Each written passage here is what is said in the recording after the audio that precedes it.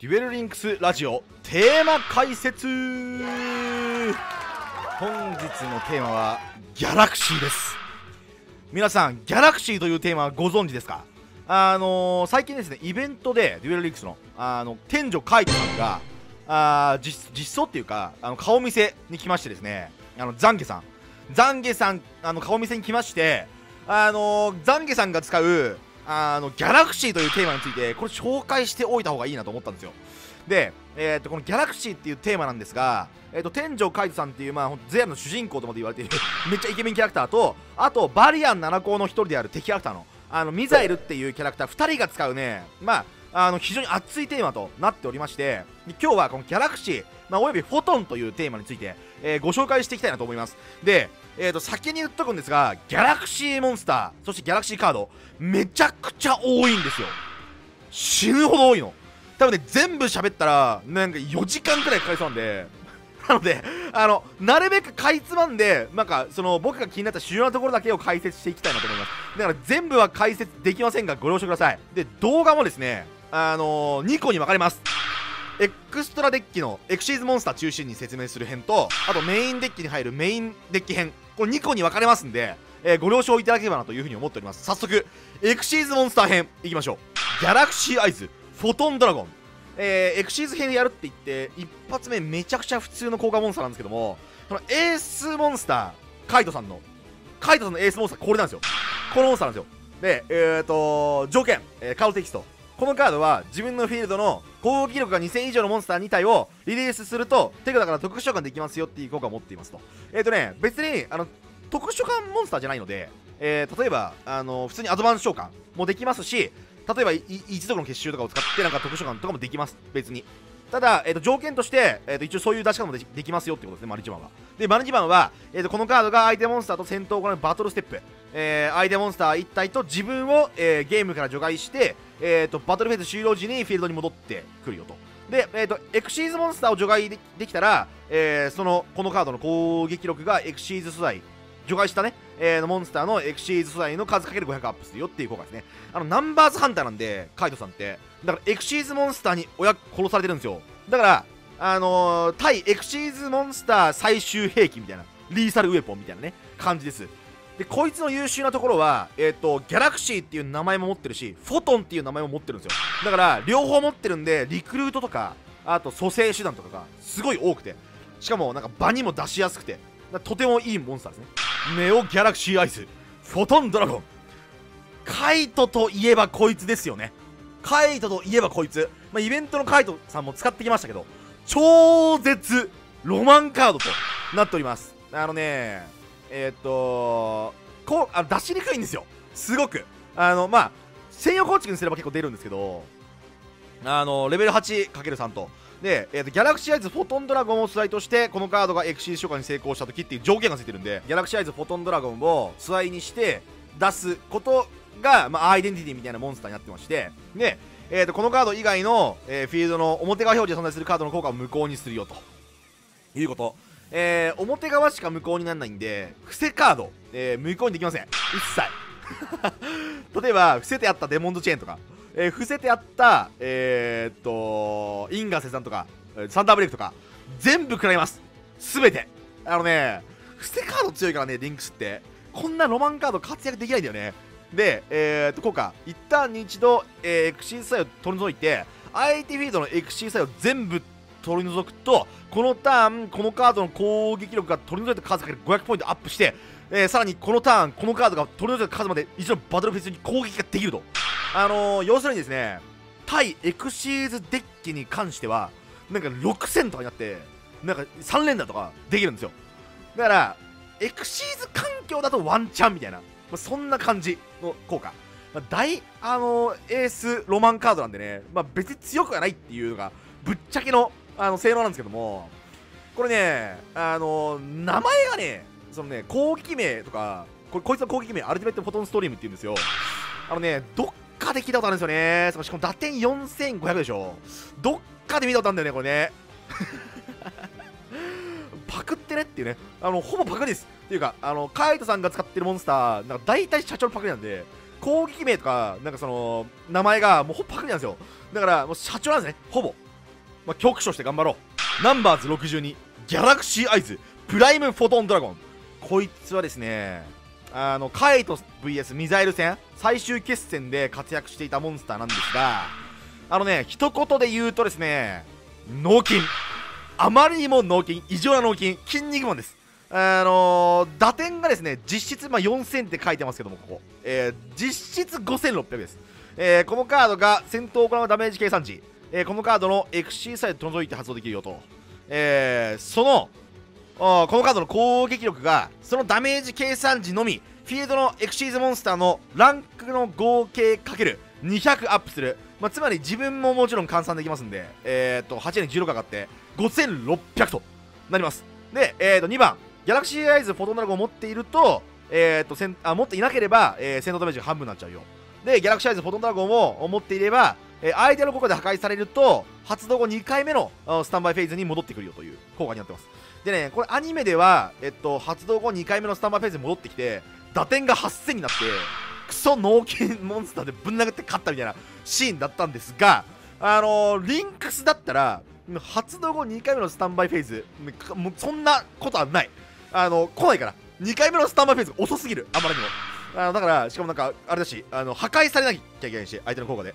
戦闘で破壊されたら戻ってきてくれればまだいいんですけど、あの、効果で破壊される必要があるんですよ、相手の効果で。因果切断とかされたらおしまいなんですよね。かわいそうなモンスターではあるかなといったところ。ナンバーズ107、ギャラクシーアイズ、タキオンドラゴン。こいつはですね、めちゃくちゃかっこいいの。これは敵が使うんですよ。あの、ミザイルさんっていうね、あのバリアン7個っていう、まあ、キャラクターが使うカードなんですけども、これね、OCG の方で、これ20シークレットっていう、あのー、まあ、最高レアリティになってて、こいつね、文字赤、黒いカードで文字赤くてなんかすげえビカビカ光ってるのめっちゃかっこいいの。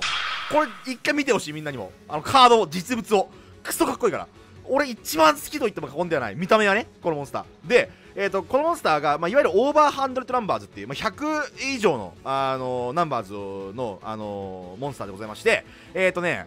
レベル 8×2 なんですよ。だから結構出しやすいんですよね。で効果なんですが、うん、ぶっちゃけ微妙です。あの自分のバトルフェーズ開始時に、えー、このカード XC 作用を取り除いて、えー、発動できますよと。で、えー、っと、このカード以外のフィールドの全ての表側表示モンスターの効果が無効化されますし、えー、その攻撃力、守備力が元々の数値になりますよっていう効果。で、えーと、この効果を発動したターン、えー、バトルフェーズ中に相手が魔法トラップカードを発動すると、えー、攻撃力がバトルフェーズ終了時まで1000アップして、えー、そのターン2回攻撃ができますよという効果になってます。あのね無効にしてくんないんだよ効果を。あのそのバトルフェーズ中にその発動した効果が無効にしてくんないんですよ。無効にしてくれたらめっちゃ強いんですけど無効にしてくんないんであの全部引きます。なんならあの次元幽閉とかミラーフォースとか。あの全部効くんですよ。でクリボールとか。だからなんか打点アップしてもなんか2回攻撃できるかって言われると微妙っていうのがあってそこかなーっていうね。セットカードには相変わらず弱いです。あのー、伏せカードね。あのサンブレとか因果切断とかデモンズチェーンとかの全部弱いです。だから正直強くはないけどかっこいいんですよ。とにかく。なのでセーフ。カオスナンバーズ107ネオギャラクシーアイズ。タキオンドラゴン。こいつがですねミザエルさんの大エースモンスターですね。ミザエルの大エースモンスター。まあタキオンさっきやったタキオンの究極進化系です。究極進化するとメガ進化するとこうなるってこと。でえっ、ー、とねメガ進化のためにはえっ、ー、とカードが実は必要で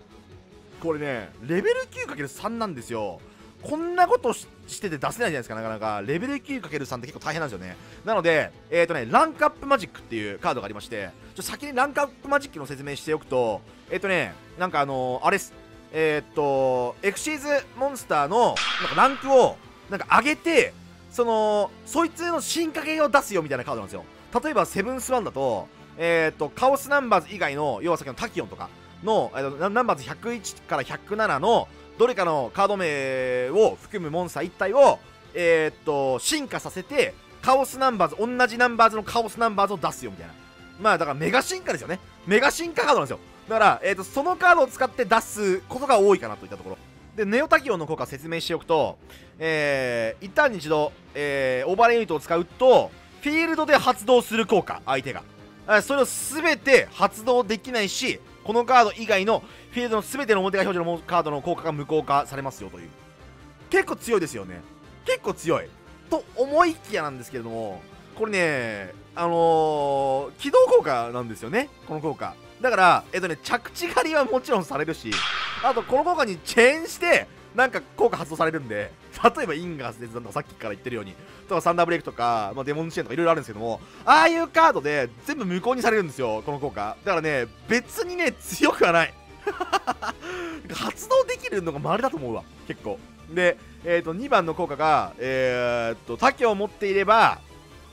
えー、っと、エクシーサーとしている場合は、えー、このカード以外の自分のフィールドのモンスター2体をリリースして、えー、3回攻撃できますよ、モンスターにっていう。あのね、あんまりこれも使わないな。あの使えない。正しくは。えー、こいつを出すまでにカード消費結構激しいので、意外とこの効果発動することはないかなと。まあ、だからまあ一応一番の効果をまあメインにしてね、あの使っていくことになるんだけれども、うーん、まあ、底なしとかされておしまいかなみたいなところあるよね。あの、出すまでに大変みたいなとこがあって、だからまあ局所して、あの、出すパターンになると思うんですけども、局所するんだったら、一番の効果あんまいらんくねみたいな話があって、そんなに強くはないですね。まあ、ロマンカードなんで、しょうがないです、これは。ナンバーズ38、希望海流、タイタニックギャラクシー。こいつはですね、めちゃくちゃ強くて、あの、OCG でも結構使われるレベルなんじゃないかな。俺もなんか原環境はあんま知らないけど、あの、入れてる人多いと思いますね、これね。あの、効果。レベル8から2っていう、まあ、雑に、あのなんどんなデッキからでも出せる効果をしているのにもかかわらず、1番の効果。えー、一旦に一度魔法カードの効果がフィールドで発動するとその発動を無効にしてフィールドのそのカードを、えー、このカードの下に重ねてエクシーザーにするよっていうだから魔法を止めれる効果なんですよだからこれ制圧能力高いのでこれなんか先行で出しとくとか結構あるんですよねなので割とねあのレベル8は並ぶデッキであればどんなデッキにも入ってるイメージありますねまあ、沈黙サイマジみたいなもんですわで、えー、と一応2番の 3, 2番の3番の効果も、まあ、そこそこ強くて、えー、と攻撃宣言時、えー、オーバーレイユニットを使うと攻撃対象を後逸に移し替えることができますよと。で、他のエクシーズモンスターが戦闘効果破壊されると、えー、と自分フィードのエクシーズモンスター、まあ、自分でもいいんだけど、えー、の打点が破壊されたモンスターの元々の攻撃力もアップしますよみたいな効果なんで、まあ、そこそここの2番の2番と3番の効果も優秀と。まあ、ランク8だと、こいつとかすごい強いよね。なんか汎用ランク8イコールタイタンギャラクシーみたいなあのイメージあるもん。うん。まあ、こいつは強い。ギャラクシーアイズ。サイファードラゴン。えっとねこれはですねあのー、アーク5にもカイトさん出てくるんですよ実は。あのー、ゼアルだけじゃなくてあのアーク5っていう次のアニメあるじゃないですか。あのアーク5だとなんかその怪獣大決戦みたいな感じであのいろんなキャラクターがねなんか出てくるんですよ。なんかあの仮面ライダー大決戦みたいな感じであのー、アーク5にはクローとかジャックとかも出てくるしあのカイトさんも出てくるんですね。でそのアーク5に出てくるカイトさんが使っているカードです。で相手をパクれます。ジャイアンです、えー、レベル 8×2 です。で一旦に一度えー、っと相手の、えー、フィールドのモンスター表が表示モンスター1体を対象にしそのモンスターのコントロールをエンドフェーズまで得ますと。でこの効果で特殊召喚コントロールを得た、えー、モンスターの効果が無効化されますし攻撃力は3000になって、えー、カード名をサイファーとして扱うと。でこの効果の発動後炭治郎島でこのカード以外の自分のモンスターが直接攻撃はできないよっていう効果になってますね。だから、えーと、これどうで使うかっていうとえーとね、まあ、出して相手パクってでぶん殴ってぶん殴ってでパクったモンスターをなんか素材にしてリンク召喚とかまああのエクシーズモンスターをパクれるとあのエクシーズモンスターでかつえっ、ー、とギャラクシーアイズってついてる名前のモンスターになるんですよ。パクったモンスターが。だからあのねギャラクシーアイズってねなんかインチキ効果でエクシーズモンスターでありギャラクシーアイズっていう名前がついていればそのモンスターの上になんか重ねてエクシーズ召喚できるっていうモンスターもいるんですねいくつか。だからそういうだからパクったモンスターを使って自分がエクシーズするみたいな。あのこともできます。はい。インチキです。インチキ。ギャラクシーアイズフルアーマーフォトンドラゴンこいつかっこいいよね見た目。えー、レベル 8×3 で、えー、これがさっき言ったあの上に重ねるやつです。えー、このカードが、えー、ギャラクシーアイズフォ FA フォトンドラゴン以外の自分のフィールドのギャラクシーアイズモンスターの上に、えー、重ねてエクシーズ召喚することもできますよっていう効果ですね、えー、だからさっきのサイファーみたいなのでパクったなんか上に重ねるっていうこともできます。エクシーズモンスターであればパクったモンスターが、えー、それから1ターンに一度このカードの装備カードを2枚対象にして、えー、エクシーズにできますよっていう効果。それからえー、一旦に一度、えー、表側のカードを1枚対象にしてそのカードを破壊するよっていう効果持ってます。えー、っとねまああのサイパーから上に出したりとかあすることが多いですかね結構ね。えー、まああの殴って殴ってで殴りきれなかったモンスターをあの FA にあの変身させてあ破壊するみたいなこともありますね結構ね。使い勝手はいい。ナンバーズ95ギャラクシーアイズダークマタードラゴンあんまりねあの意味ないんですけど禁止カードをもう説明していこうかなと思いまして。問題児ギャラクシーアイズダークマタードラゴンこのモンスターですねあの漫画版カイトさんのカードなんですがあのね今禁止なんですよこれ。禁止カードなんですよ。これ何を悪さしたかっていうと、まあ、あの効果ね先に説明すると、えっと、レベル 9×3 なんですけれども、えー、出しにくいんですけども、えー、またこのインチキ効果でねあのギャラクシーアイズエクシーズモンスターの上に重ねることもできますよみたいな出し方。で1番見てください、えー、このカードがエクシー召喚に成功すると自分のデッキからドラゴン族モンスターを3種類1体ずつ墓地を送って相手はデッキのモンスターを3枚除外するみたいな効果。これね、まあ、もちろん相手が除外するのはまあ別にどっちでもいいんだけどこのねドラゴン族モンスター3種類を1体ずつ墓地を送るっていうのがあまりにも強すぎるんですよ。これドラゴン族って基本強いモンスターめっちゃ多いじゃないですか。あのまあ有名なコンボで言うと例えばですねあのエクリプス・ワイバーンと、えー、テンペスト。を墓地に送って、えー、でエクリプス・ワイバーンが墓地に送られるとなんかデッキからドラゴン族除外できるでしょ？だからえっ、ー、となんかレダメ？レッドアイズ・ダークネス・メタルとかああとなんかあれえっ、ー、とカオス・エンペラーとか除外してでえー、っとテンペストの効果でエクリプスワイバーンをあの除外して出すんですよ。そうするとエクリプスワイバーンが除外されたんであの除外しておいたらドラゴン族を回収できるんで、まあ、レダメとかエンペラーとかを回収してきてで出してまた分回してみたいなことができるんですよね。で、まあ、そういうのいろいろやってるとえー、とねあのー、先行ワンキルができるんですよね。先行ワンキルが。あのー、禁止の理由は主にね、あの破壊竜ガンドラクロスっていうモンスターがいまして、あの映画版のあのガンドラ、あれね、あの、アークロードパラディオンっていうのとダークマターとかを組み合わせると、なんか先行8000バーンみたいなできるんですよ。やばいですよね、非常に。あのー、結構しかも成功率高いかったんですよ。だから、えっ、ー、とね、2019年の1月より、あのー、まあ、あの悪いのはガンドラクロスではあるんですけども、まあ、ダークマタードラゴンもあまりにも強すぎるこのテンペストとエクスパイバーのコンボがあまりにもやばすぎて、えー、禁止になってしまいました。このモンスターは。で、えー、っと2番の方があのあんま説明しても意味ないけど、えー、エクシスを1つ除くと、えー、このターンこのカードは一度のバトルフィッシュに2回攻撃できますよみたいな効果を持っていますっていう感じですね。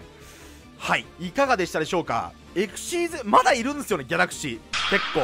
あのね全部説明してるとマジで時間足んないからあの今回はこのぐらいにさせてください。あのまたね新パックとかが出たらそのタイミングで解説していこうかなと思ってます。メインデッキに投入されるモンスターはまた別でね動画化しようと思ってますんでそちらもよかったらご覧ください。それではまた次の動画でお会いしましょう。デュエルモードフォトンチェンジ。懺悔の準備をして待っていてください。